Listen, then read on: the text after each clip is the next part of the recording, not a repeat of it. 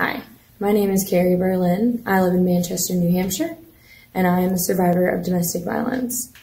In the spring of 2018, I had tickets to a country concert with my boyfriend at a local concert hall.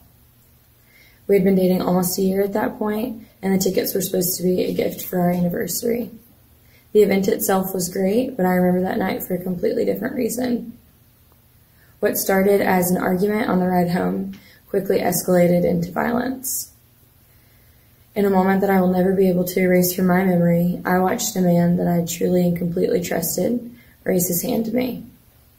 I felt the impact of his anger and his strength collide with the entire left side of my face.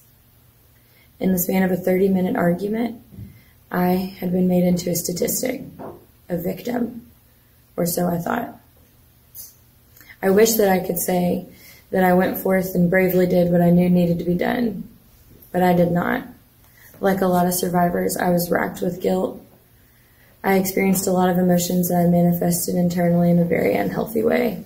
I constantly asked myself, what did I do? Why did I deserve that?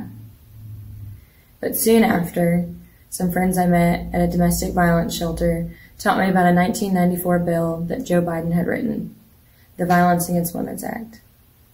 That bill had protected domestic and sexual violence survivors for 25 years, and last year it protected me. This year, the Violence Against Women Act is up for renewal, and Joe Biden is the only person that I trust to ensure that that gets renewed and then expanded upon.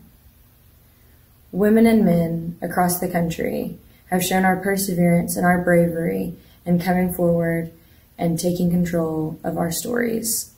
We have decided to reverse the normalization of domestic and sexual violence in our culture, and we still have so much more to be done. I am honored to work for an experienced leader and a good man who has worked nonstop to ensure that every person feels safe in her surroundings and that if that safety is taken, they know where to turn.